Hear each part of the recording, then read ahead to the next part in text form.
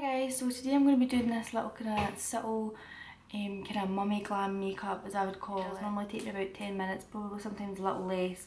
The eyelashes of course are optional. It takes me no time at all to put them on so you don't have to add them on, you'll be even quicker if you don't do that. I'm just not blessed with decent eyelashes at all, therefore I always wear the fake ones. So I hope you enjoy. Okay, so we're going in with the Urban Decay Hydrating Prep Gel first. Normally sometimes I'll mix this mix this in with my foundation, but um, when I'm doing something quick, I just put it on before. As my skin's really dry, it gives me that nice short of hydration that I really need. And I'm applying that all over the face with my Beauty Blender.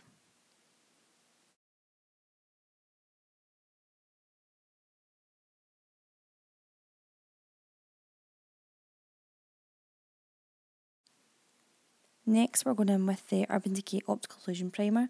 I've been using this primer for about a year and a half now. I do really like it. It smooths everything out for me and it's quite quick that you just use your hands to apply. You don't need another brush. I'm just putting that on my kind of nose, cheek and chin area. That's typically where my foundation tends to come off first, so I just kind of concentrate that there. And I'm going in next with the Urban Decay Shapeshifter palette because it's got all my kind of powders and contours and the colour correctors in the one palette, I tend to kind of grab that first, especially when I'm doing something quick. So I've just mixed the two correctors here and I'm applying them on the kind of dark circles my, under my eyes. Now I'm going in with my Urban Decay Naked Skin Foundation. This is shade 4.0 and I'm just doing like little tiny pumps of that. I'm barely even pressing it down. Just because the foundation is quite runny, I find that if you do a full pump on your face, it will run down. I didn't have my mixing palette on me, so this is typically during the day when I'm doing something quick, this is what I do. Tiny little pumps all over my face, and then I just blend it out with a foundation brush. This one is from Crown Brush.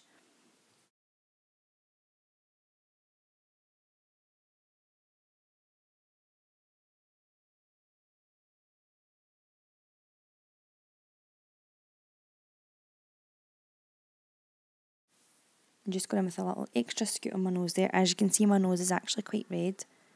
Um, so I'm just putting a little extra pump there just to give me a little bit of coverage so that red ain't peeking through. So we're going in with the Shape Tape Concealer now. This is quite a full coverage concealer, so it's quite good if you don't want to do like a, a really full coverage foundation. This concealer is going to give you that extra coverage in the places that you really need it. So I went a shade quite lighter than my skin tone as you can see, but I do that more for a highlight so that I don't have to use two products for concealing then highlighting. Because I'm going lighter, it's saving me an extra product basically. So I'm just again blending that out with my beauty blender.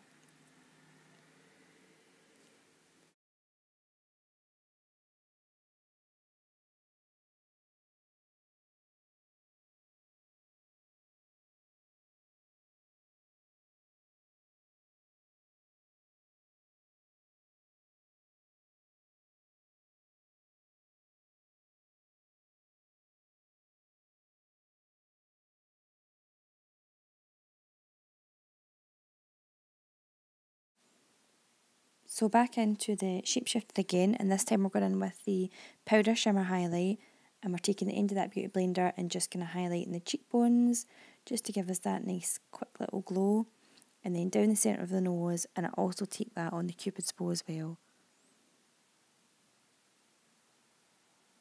So you'll notice that I only really use, I think, three brushes. That's including for eyes and a beauty blender for the whole thing, which is not bad. So I'm going in with the RCMA powder now with the Beauty Blender again and just really setting that under the eyes. You don't have to kind of bake this if you don't want to. I just tend to put it on and then I'll go in and do my contour bronzer and all that while it's sitting there and then I can dust it off. You could obviously just go in with a powder brush and pop that all over just to set your foundation. So I'm going back into the shapeshifter again, the two darker colours, and I'm using the Real Technique. It's actually a brush, a blush brush, sorry, but I quite like it for contouring. The domed end gets quite gets into the kind of hollows of your cheekbones really easily, but it's still fluffy enough to diffuse the colour out.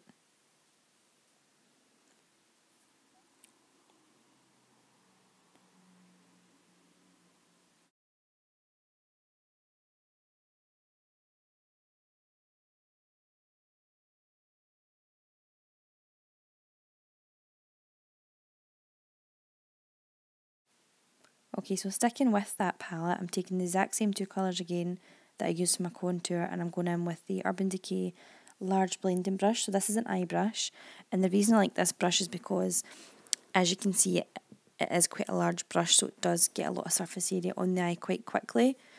So I'm taking those same two colours, blending them all over the lid and up towards the crease of my eye. So you can see that literally took me a couple of seconds to do that.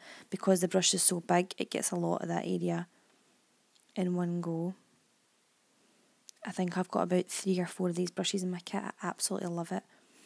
It's so good for like highlight, for concealer, for eyes. It's just kind of really one of those brushes that can do about everything. So they're always good to have in your brush kit. And just getting that down the bottom as well. It's actually so much harder than it looks to try and stay focused on this camera but see what I'm actually doing.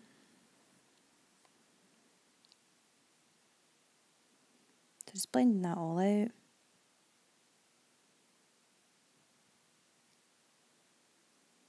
And now for the brows. Normally day to day I would use my Urban Decay Brow Beater, but I couldn't find it, so I just used the Anastasia Beverly Hills Dip Brow Pomade. I can't really remember the shade of it, but I will list that um, maybe in my blog or down below. So the little brush I'm using for this as well is just a little angle brush from Primark. So it literally cost about, I think it's like £2, but you've got your angle brush on one side and your comb on the other side. So it's a little handy brush and it's really cheap as well, so that's quite good. I'm going for like more of a kind of softer look. I don't want them too like sharpened out. I don't want too much of a harsh brow. I'm just keeping them really soft, not adding much to the shape, just kind of going with what I've got. And now to remove the powder. So this is the Real Techniques powder brush that I've got here. Any powder brush will do for this. Any brush, to be honest, will do for this. And I'm just dusting off all that excess powder. And a little bit mascara. This is the Urban Decay Perversion Mascara. As you can see, it is really intensely black. I don't think I've got the best of eyelashes. Well, I know I don't have the best of eyelashes, but they don't actually look that bad, like watching this back.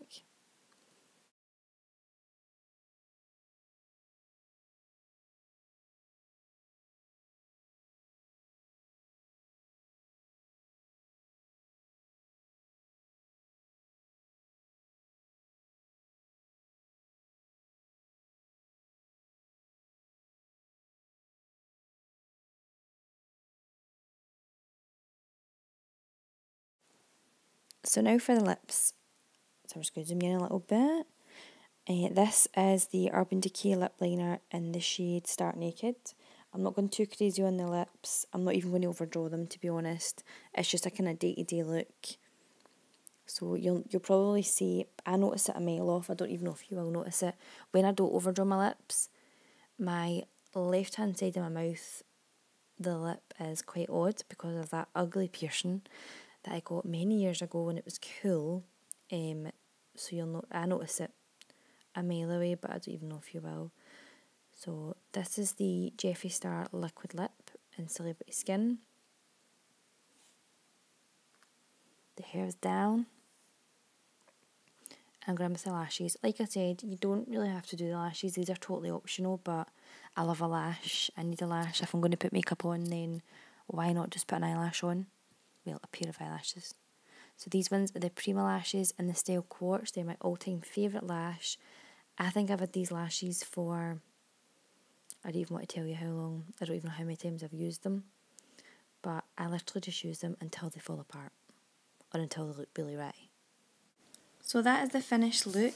Thanks so much for watching. This is my 10 minute mummy makeup makeup look. If you liked it, please give it a little thumbs up and subscribe to my channel and thanks so much for watching.